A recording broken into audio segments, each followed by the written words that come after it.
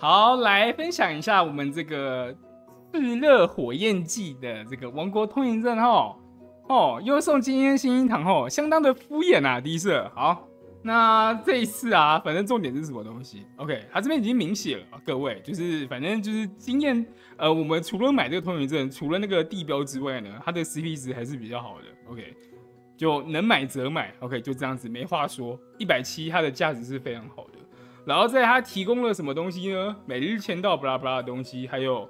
果冻列车交货券啊，这一点非常重要。你缺素材的玩家，你没办法发车的玩家，OK，这个果冻交换呃果冻交货券特别重要啊。然后再来还有悬赏通气次数增加，呃也很重要。缺粉末的人，不管怎么样都很缺啦，因为低色常常就是把一些什么资源型啊、突击型啊，有没有？除了射击啊跟那个呃。捕师好，除了这几个之外呢，呃，基本上都缺，好吗？好，然后任务的话，刚刚看过了嘛，来买下去。然后买下去了之后呢，我们这边要进入效果拉好拉满的环节，工商的环节。哇，怎么又会是？哦，没事，这上次讲过了。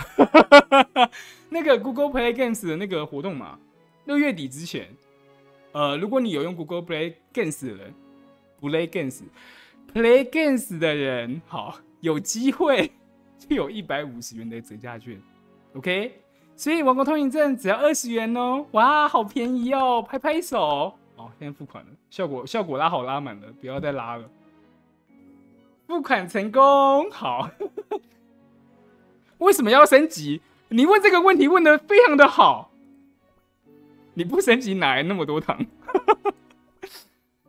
亲，升级的话，它有产更多的糖啊。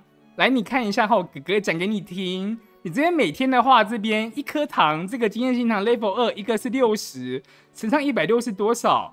一天就有九千六的经验糖嘞，好吗？拿出你的计算机好不好？好，我们目前的地标啊，加一加经验糖，也不知道已经有多少个了啊。对，非常的好。OK，所以老玩家们就不缺糖，新玩家的缺糖怎么办呢？我也不知道，你就问迪色。好，那就这样子。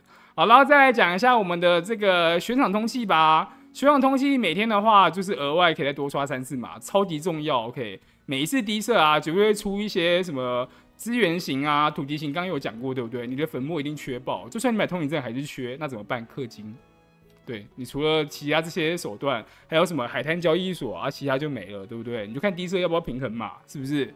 好啦，我帮低色说好话的时间到这边了，嗯，你们就每个礼拜买，呃，每个月买一次，支持一下低色吧。看低色会不会改东西，或者是出更好玩的游戏？嗯，对，反正我还是我会我会继续这样子支持低色的，好吗？就是 Love you，低色。